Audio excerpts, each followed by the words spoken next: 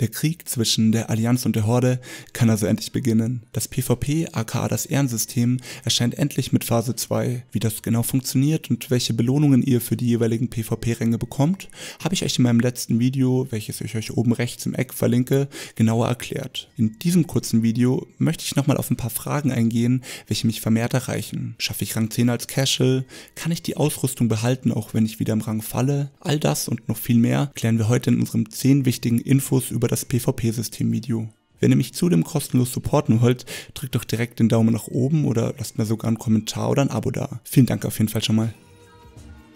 Die Hintergrundaufnahmen stammen vom Level 60er Trollhunter namens Cautionluck, wie er sich gerade für die von Tips Out ins Leben gerufene Duellierliga namens Classic Duelers League qualifiziert. Das komplette Video sowie Links zu seinem Twitch- und YouTube-Account findet ihr natürlich in der Videobeschreibung. Schaut auf jeden Fall mal vorbei. Kann ich die Ausrüstung behalten, wenn ich vom Rang abfalle? Ja, das kannst du. Als Beispiel, ihr werdet Rang 14, kauft euch die Waffen und steigt die anschließenden Wochen wieder ab. Und könnt ihr ohne Probleme die Waffen weiterhin tragen. Dasselbe gilt natürlich für alle anderen Items. Wenn man den Rang absteigt, kann man im Nachhinein die Sachen trotzdem noch kaufen?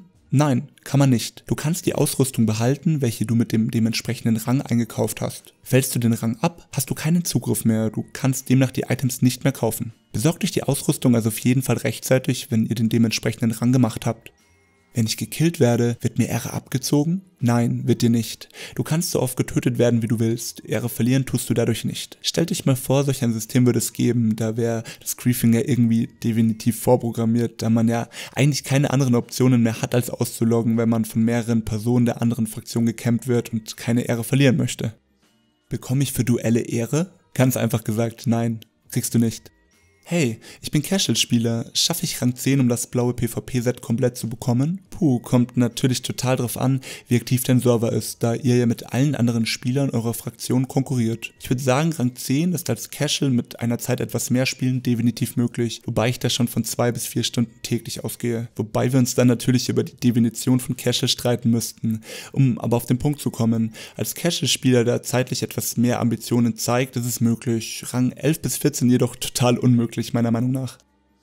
Wann kommen die Schlachtfelder? Phase 3 kommt das Alteraktal sowie die Kriegshymmenschlucht. In Phase 4 das Arati-Becken und in Phase 6 zwar kein BG, dafür die Open-World-PvP-Ziele in Silitus und den östlichen Pestländern.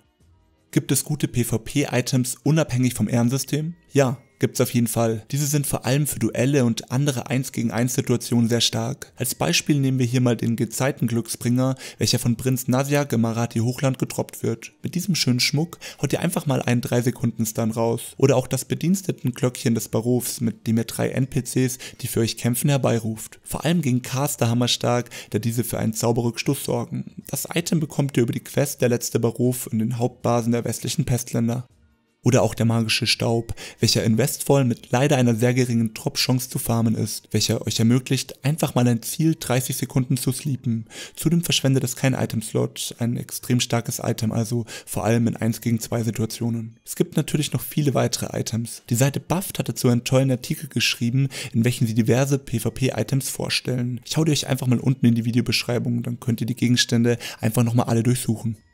PvP machen ohne den Beruf Ingenieur? Geht auf jeden Fall, vor allem im Gruppen-PvP wie in Schlachtfeldern macht es nicht so den gravierenden Unterschied, obwohl es natürlich ein paar sehr krasse Vorteile aufweist, wenn man den Beruf geskillt hat. Jeder, der das Spiel hauptsächlich wegen PvP spielt, hat Inji wahrscheinlich sowieso auf 300, beziehungsweise sogar beide Spezialisierungen für die Items jeweils einmal hochgeskillt, da ihr diese nach dem Verlernen behalten und weitertragen könnt. Den größten Benefit zieht ihr aber natürlich im 1 gegen 1. Allgemein gibt es dort Items wie zum Beispiel die Reflektorenschmuckstücke, um Eis, Feuer oder Schattenzauber zurückzuschleudern, die arkane Bombe, um Heiler zum Schweigen zu bringen und so weiter. Auch hier findet ihr eine Seite in der Videobeschreibung mit diversen Inji-Items. Um die Frage aber natürlich noch abschließend konkret zu beantworten, wenn ihr wirklich vorhabt, ambitioniert PvP zu spielen, ist der Beruf Ingenieurskunst auf jeden Fall ein riesiger Vorteil, vor allem im One-on-One -One und der offenen Welt.